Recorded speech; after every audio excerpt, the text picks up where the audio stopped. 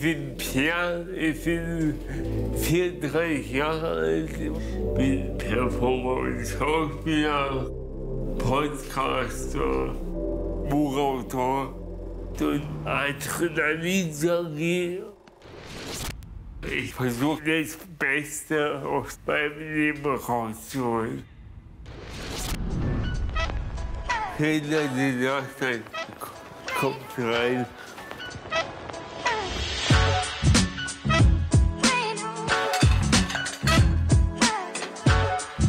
Ich habe 28 Jahre im Elternhaus gewohnt, bin dann in eine inklusive WG gezogen.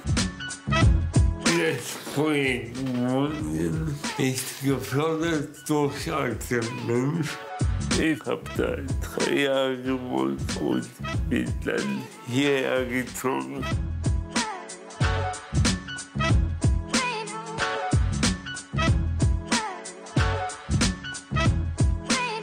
Hat den Weg geebnet, dass ich selbst bestimmt mache.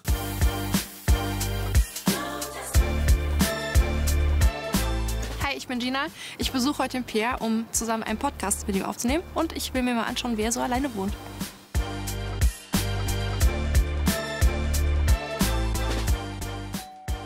Hallo. Hallo Gina, Wie geht's dir? ganz gut. Komm rein. Ist richtig schön. Wie lange wohnst du jetzt schon hier? Seit drei Jahren. Aber fühlt sich wohl. Ich bin mit Pudel. Sehr schön. Sollen wir einmal gucken, was in der Box ist, die ich mitgebracht habe?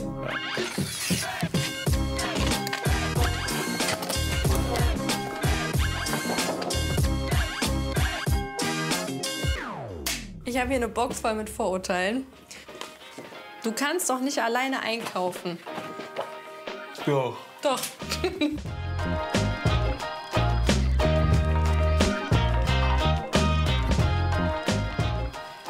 kannst nicht selber kochen.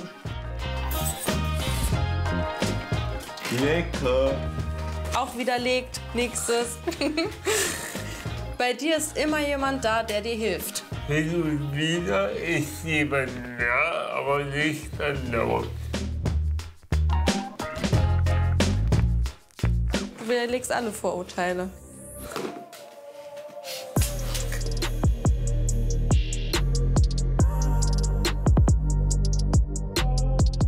Dann startet hiermit die 90.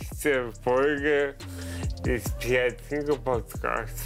Ich würde gerne mehr Inklusion im Fernsehen sehen, weil ich finde, du siehst kaum Leute, die eine Behinderung haben. Ja. Ein Ziel wäre, dass sich das ändert, dass sich das Denken der Leute auch ändert, dass Leute sehen, dass eine Behinderung keine Krankheit ist und dass wir eigenständig auch leben und unsere Sachen schaffen können.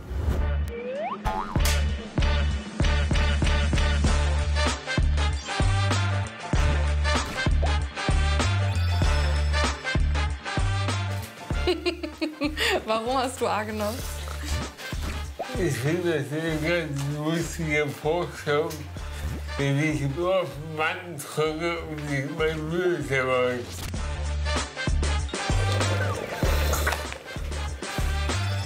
Du lieber Nudeln, selbstkochende Pasta. Hier ist nicht so viel Gemüse.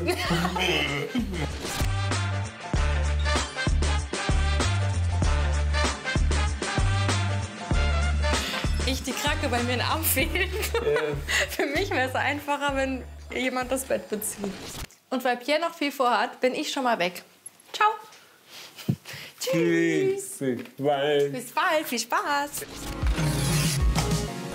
Ich wünsche mir für die Zukunft, dass ich mir weitere Lebensträume erfüllen kann.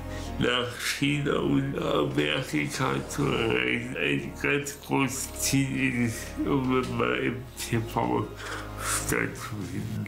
In zehn Jahren würde ich gern wenn das moderieren. Wenn man an sich glaubt, kann man alles schaffen. Und wenn alles, meine ich alles.